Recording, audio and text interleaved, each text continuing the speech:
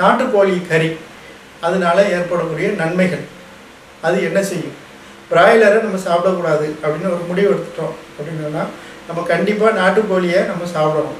அப்படி இல்லை அப்படின்னா காடை சாப்பிடணும். அப்படி இல்லை அப்படின்னா வான்கோழி இறைச்சி சாப்பிடலாம். இந்த மாதிரி விஷயங்கள் வந்து நாட்டுக்கோழிக்கு என்ன நன்மைகள்? அந்த சாப்பாடு நம்ம அந்த உணவை சாப்பிட்டோம்னா என்ன நன்மைகள் ஏற்படுங்கிறத சொல்லுவாங்க. கேட்டுக்கோங்க. சூடுள்ள கோழிக்கறியை ம். ஔஷத வேகம் மகாவாதம் சுவாசம் தேக கடுப்பு மந்தாக்கினி மூலம் இவை போகும். போகும். அதுதான் பாயிண்ட்டு நீங்கள் பிராய்லர் எடுத்தீங்கன்னா எல்லாம் வந்துடும் இது எடுத்தால் எல்லாம் போயிடும் இதில் முதல் பாயிண்ட்டே நீங்கள் வந்து அதுலேயே எல்லாமே அடிபட்டு போயிடுது. இது அதை மட்டும் ஒரு திருப்பி சொல்லுங்கள் டாக்டர் ஔஷத வேகம். ஔஷத வேகம் அப்படின்னா என்னன்னு கேட்டிங்கன்னா நீங்கள் டெய்லி இன்ஜெக்ஷன் போட்டுக்கிட்டு இருப்பீங்க. டெய்லி வந்து ஏதாவது ஒரு வகையான சுகருக்கோ இதுக்கோ வேறு எதுக்கோ ஏதோ டாக்டர்கிட்டையோ பேஷண்ட்டாகவே இருப்பீங்க. வாழ்க்கை ஃபுல்லாக பேஷண்ட்டாகவே இருப்பீங்க. இப்படி இருக்கும்போது அந்த மருந்து உடைய தாக்கம் வந்து நமக்கு வந்து பல வகையான பக்க விளைவுகளை ஏற்படுத்திக்கிட்டே இருக்கும்.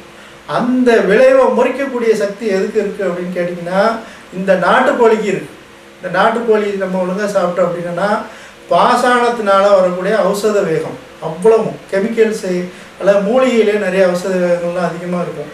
அது எல்லாமே வந்து வெளியேற்றிடும் விஷத்தை முறிக்கக்கூடிய தன்மைகள் வந்து அதிகமாக இருக்குது அந்த கெமிக்கல்னால வரக்கூடிய விஷத்தை முறிக்கக்கூடிய தன்மைகள் இந்த நாட்டுக்கோழிக்கு இருக்குது அடுத்தாக்குல அடுத்த பாயிண்ட் சொல்லுங்கள்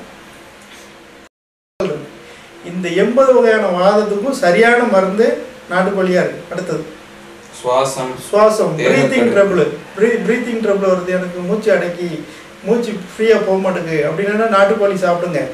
அது ஃப்ரீயாக்கி விட்ருவோம் அடுத்தது தேக கடுப்பு தேக கடுப்பு உடம்புலாம் கை காலெலாம் குத்தல் எடுக்கு குடைச்சல் எடுக்கு. எனக்கு அங்கே வலிக்கு இங்கே வலிக்கு அப்படின்னு சொல்லும் போதெல்லாம் நீங்கள் வந்து முதல்ல உங்களுக்கு தெரிய வேண்டி நாட்டுக்கோழி சாப்பிட்டீங்கன்னா அது சரியாக்கி விட்ரும் என்ன காரணம்னு கேட்டிங்கன்னா நீங்கள் வந்து சரியான உணவு வந்து சரியான விட்டமின்ஸ் புரோட்டீன்ஸ் மினரல்ஸ் பாடிக்கு குறைஞ்சிருச்சு அப்படின்னாலே இந்த கம்ப்ளைண்ட் வந்துடும் எல்லாருக்கும். அப்போ வந்து நாட்டுக்கோழியில் அவ்வளோ எனர்ஜி அவ்வளோ எனர்ஜி அதில் இருக்குது ஆனால் இப்போ விலையை கூட்டி வச்சுருக்காங்க. அதுக்கெலாம் அரசாங்கம்லாம் என்னைக்கு முடிவு எடுத்து அதை இறக்கி விட போகிறாங்கன்னு தெரியல.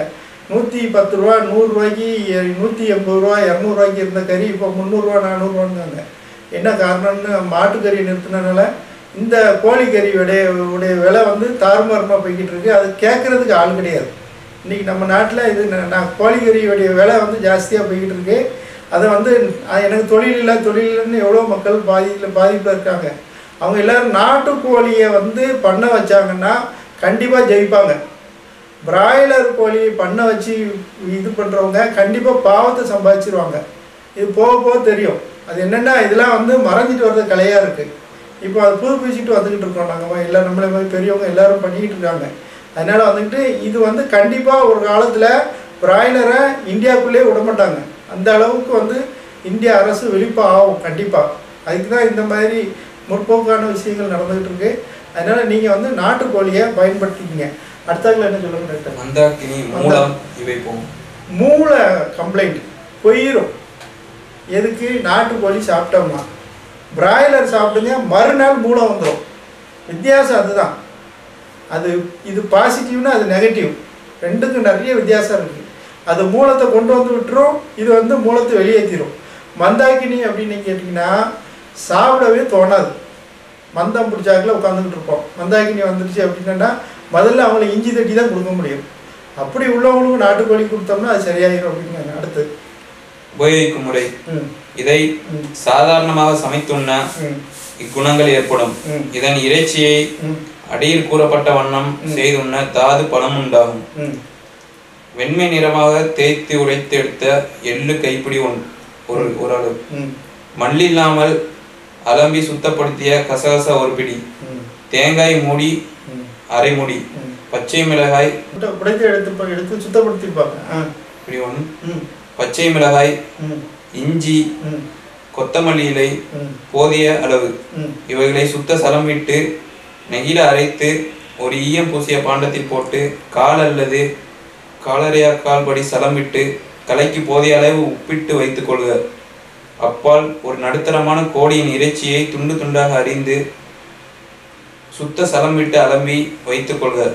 பிறகு ஒரு ஈயம் பூசிய பாண்டத்தில் ஏழரை சுத்தமான நெய் விட்டு பத்து முதல் பன்னிரண்டு பெரிய வெள்ளை வெங்காயத்தை அறிந்து போட்டு அதனுடன் சிறிது லவங்கப்பட்டை கிராம்பு ஏலக்காய் கூட்டி அடுப்பில் ஏற்றி வெங்காயம் சிவந்து வரும் பதத்தில் முன் சித்தப்படுத்தி வைத்துள்ள இறைச்சியை கொட்டி அடிபிடிக்காமல் துளாவி வருக.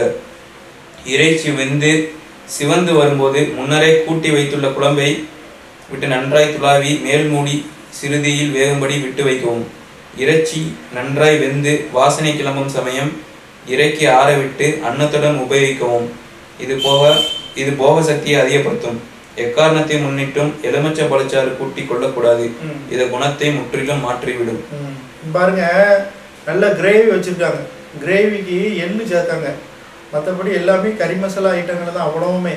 அந்த அளவுபடியாக நாங்கள் வந்து அன்றாட ஒன்று உணவின் நன்மை தீமைகளுக்கும் பேசிகிட்டு இருக்கோம்.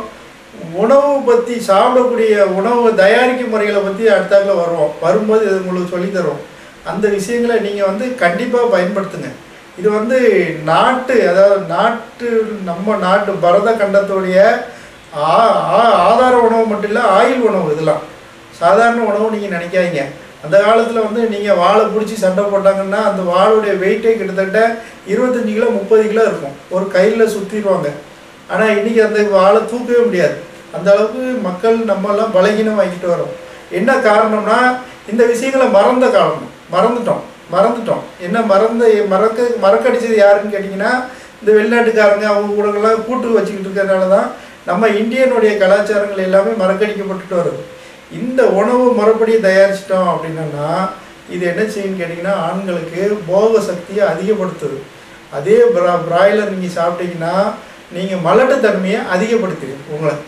அதுதான் நீங்கள் கவனிக்கக்கூடிய விஷயம். அதனால் கண்டிப்பாக வீட்டில் நாட்டுக்கோழி கறி வாங்கி சாப்பிடுங்க. மற்ற எந்த கறியையும் நீங்கள் வந்து அதிகமாக உபயோகிக்காதீங்க. அந்தந்த கறிகளை பற்றிய நன்மை தீமைகளை நம்ம அடுத்தடுத்து அடுத்தடுத்து சொல்லிக்கிட்டே வருவோம். நீங்கள் அதை நல்லா கவனிச்சிக்கிங்க. அதை வந்து உங்கள் நண்பர்களுக்கு சொல்லிக் கொடுங்க. இந்த விஷயங்களை வந்து சப்ஸ்கிரை சப்ஸ்கிரைப் பண்ணி விடுங்க. அடுத்தவங்களுக்கு வந்து ஷேர் பண்ணுங்கள் ஏன்னா என்ன காரணம்னா எங்களுக்காண்டிலாம் நீங்கள் பண்ண வேண்டாம். முக்கியமாக இது மக்கள்கிட்ட போய் சென்றடையணும். எல்லா மக்கள்கிட்டையும் போய் சென்றடையணும். எங்களுக்கு பண்ணி ஒன்றும் பிரயோஜனம் இல்லை. நாங்கள் உங்களுக்கு விழிப்புணர்வு கொடுக்க நாங்கள் உட்காந்துருக்கோம் அதனால் வந்துட்டு நீங்கள் வந்து கண்டிப்பாக அடுத்த மக்கள்கிட்ட ஷேர் பண்ணுங்கள் இது சப்ஸ்கிரைப் பண்ணுங்கள் நிறைய விஷயங்கள் நல்ல விஷயங்களாக இருக்குது அப்படின்னா உடனே பகிர்ந்துருங்க.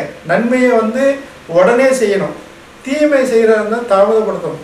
அதனால் நன்மையான காரியங்களை இதை ஒன்று அதிகப்படுத்துங்க. அது நம்ம நாட்டுக்கு நல்லது நம்ம வீட்டுக்கு நல்லது நமக்கும் நல்லது அதுதான் முக்கியம்.